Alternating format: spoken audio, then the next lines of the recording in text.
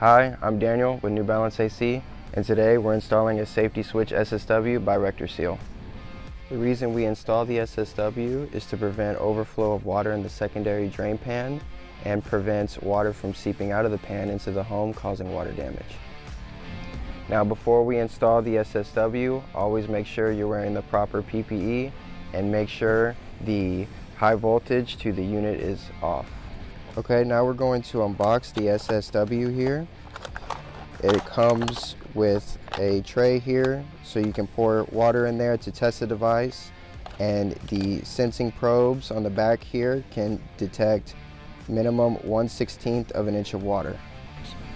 The SSW comes with instructions, make sure we follow them. Now let's get started. You'll see five wires here the white wire is used for an external alarm. We're not going to install that today. We wired nut that off. And the gray and red wire will go to the R terminal on the board. Okay, we want to remove the R thermostat wire and install the gray and red wire from the SSW to the R terminal on the board. Next, you take the purple wire and the R wire coming from the thermostat and wire nut them together.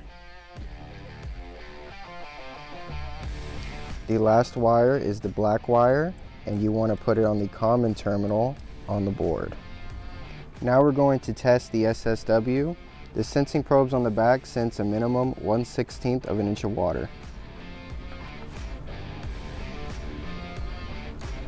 The red light comes on and indicating there is an overflow and the unit shuts off.